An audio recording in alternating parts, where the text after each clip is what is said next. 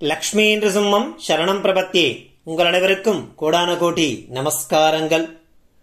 தினமொரு மந்திரராஜபத ஸ்லோகம் என்ற வரிசையில் இன்றைய தினம் ஸ்ரீ மந்திரராஜபத ஸ்தோத்திரத்தின் முதல் ஸ்லோகம் மற்றும் அதன் பொருள் என்ன என்பதை நாம் தெரிந்து கொள்ள இருக்கின்றோம்.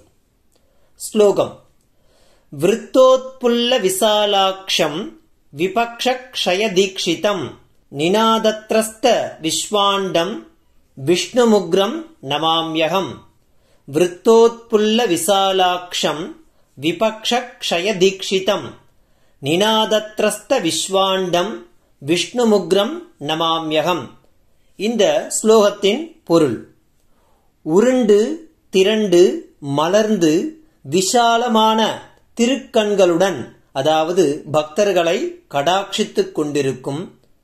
மேலும் அவர்களின் விரோதிகளை போக்குவதையே தமக்கு அவசியமானதொரு விரதம் போல் கொண்டும் அதற்கு வேண்டிய வீரகோஷம் செய்யுங்கால் அந்த கோஷத்தால் பிரம்மாண்டம் முழுவதையுமே நடுநடங்கச் செய்து கொண்டும் இதற்காக எங்கும் வியாபித்தும் அப்பொழுது காணும் சத்ருக்கள் என்னே உக்ரமான உருவம் என்று கருதும்படி அவர்களுக்கு உக்ரரூபமாயும் இருக்கும் ஸ்ரீ நிருசிம்ம பகவானை நான் நமஸ்கரிக்கிறேன் என்று சொல்லக்கூடிய முதல் ஸ்லோகம்.